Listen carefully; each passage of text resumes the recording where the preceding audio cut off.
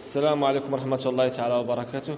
بالنسبة للملف الوثائق التربوية يعني كيبقى كتبقى حرية للأستاذ أنه مثلا يدير ملف واحد خاص بالوثائق ديال القسم وملف خاص بالوثائق آه، الشخصية أو يقدر يجمعهم مثلا في ملف واحد.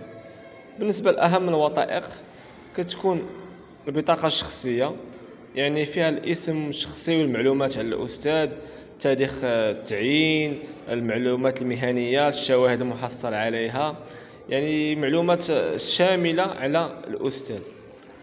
من بعد كيجي جدول الحصص جدول الحصص يعني استعمال الزمان ثم نقدروا نديروا المحطات والعمليات يعني أهم الإجراءات اللي كنديروها في بداية السنة وطيلة السنة.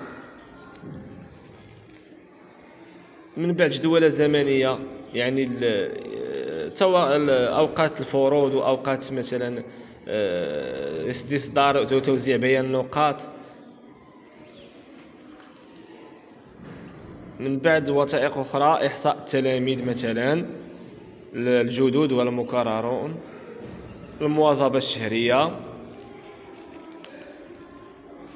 المراجع المعتمدة يعني الكتب والمراجع المعتمدة. اللقاءات والاجتماعات يعني نقدر ندير الوثيقه كل ما كان شي لقاء واجتماع ندير التاريخ ديالو والموضوع تاع من بعد كاين عندي مثلا هنا البحث الاجتماعي. كاين عندي مثلا اسم الاب الاسم ديال المتعلم اسم الأب مهنته اسم الأم مهنتها عدد الإخوة. يعني معلومات متعلقة بالمتعلم ثم عندي أيضا تحصيل واجبات المؤسسة. وثائق أخرى التوزيع السنوي ديال الوحدات الدراسية ديال كل مكون بوحدو. توزيع سنوي ديال كل مادة.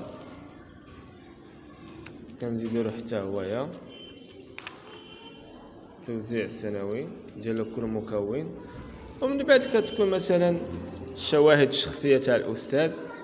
الشواهد اللي كيحصل عليهم الأستاذ كيديرهم. واللي يقدر يديرهم مثلا في وثيقة بوحدها وشكرا جزيلا.